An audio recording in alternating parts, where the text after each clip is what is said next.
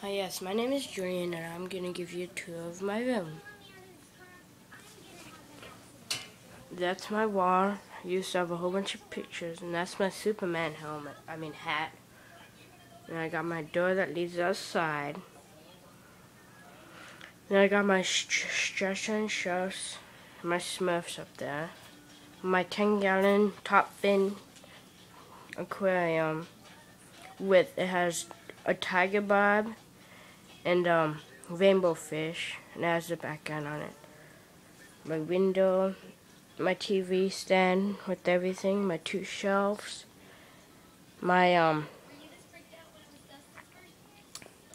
table I built in um shop, and then my um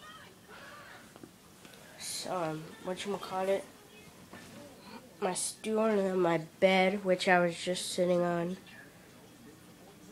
and then this is also part of my own, but I don't have it in. Got my shotguns and stuff. Yeah. Got my ammo down there. So yeah, I guess I'll talk to you guys later. Bye.